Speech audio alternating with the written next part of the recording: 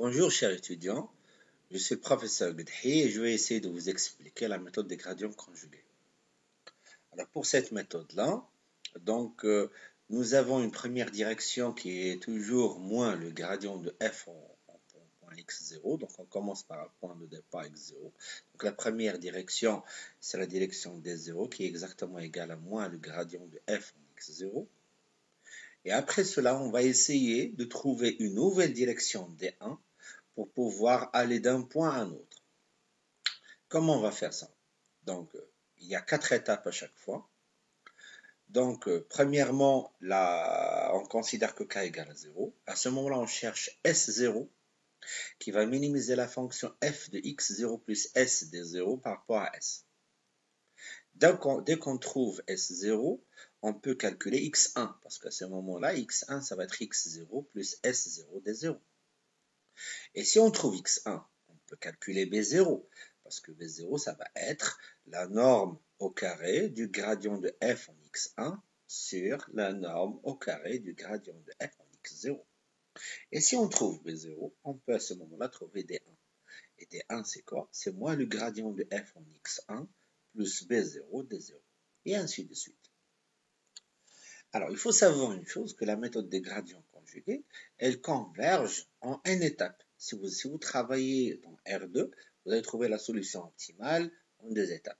Si vous travaillez en R3, vous allez trouver la solution optimale en trois étapes, et ainsi de suite. Alors, comme c'est écrit ici, cette méthode a deux avantages. Elle nécessite le stockage de très peu d'informations et sa vitesse de convergence est très supérieure à celle de la méthode du gradient. Le fait qu'elle converge en, au plus n étapes est bien un atout important. Alors, pour bien comprendre, on va prendre un exemple. J'ai pris une fonction dans R2, 3x1 au carré moins 2x1 x2 plus x2 au carré moins 8x2. Je vais essayer de trouver la solution optimale. Puisqu'on est dans R2, alors à ce moment-là, je sais que je vais avoir à faire deux étapes. D'accord? Alors, on commence par x0, c'est 0, 0 et on va déterminer la solution optimale du problème utilisant la méthode du gradient conjugué.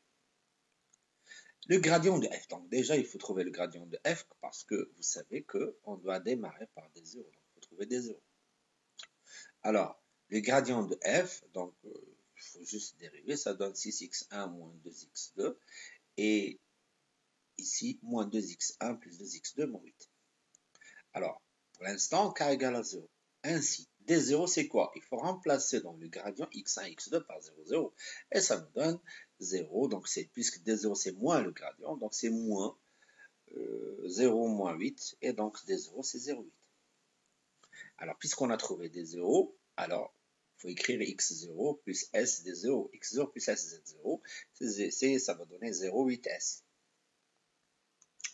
Alors maintenant, cherchons le s qui va minimiser la fonction g de s qui est f de x0, s d 0.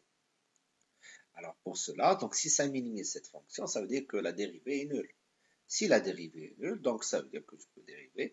Donc euh, la dérivée de, de, g par rapport à s, c'est d0 transpose le gradient de fx0 plus s d0. Le d0 transpose, c'est quoi? C'est juste le gradient, c'est moins le gradient qu'on a trouvé tout à l'heure. Le d0, on a trouvé, c'était 0,8. Alors 0,8, et je vais remplacer dans le gradient euh, x0 plus s d 0 par sa valeur qu'on vient de trouver, c'est 0,8s.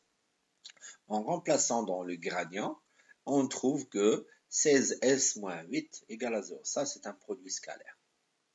Et ça nous donne que S0, c'est un demi. Maintenant, puisqu'on a trouvé S0, on peut déterminer X1, parce que X1, c'est X0 plus S0 D0. Ça donne X1, c'est 0,4. Alors, du fait que le gradient de f en x0 c'est 0 moins 8 et que le gradient de f en x1 c'est moins 8, 0, on peut déterminer b0 par la formule que vous avez devant vous. Et ça donne b0 égale à 1. Quand on a trouvé b0, on peut maintenant trouver d1. d1 c'est moins le gradient de f en x1 plus b0 d0, ça donne d1 c'est 8, 8. Passons à la deuxième étape. la première étape est maintenant terminée. Pour la deuxième étape, on a k égale à 1.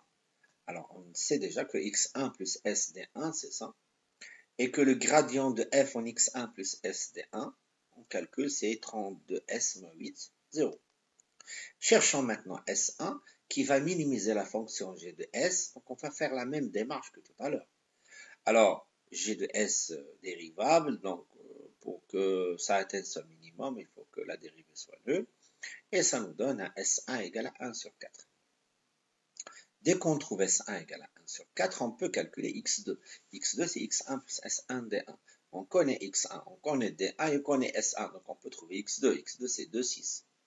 Et le 2, 6 ici, c'est le minimum de la fonction.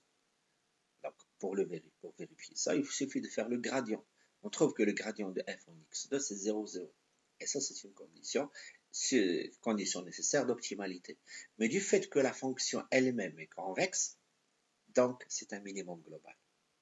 La convexité, vous pouvez la vérifier en faisant passant par le haïtien, il faut vérifier que les, valeurs propres sont strictement positives et, vous dites que le haïtien est défini positif dans sa la convexité et ainsi de suite. Regardez le cours pour avoir plus d'informations. Donc, euh, c'est terminé. Je vous remercie et, et à plus tard, Inch'Allah.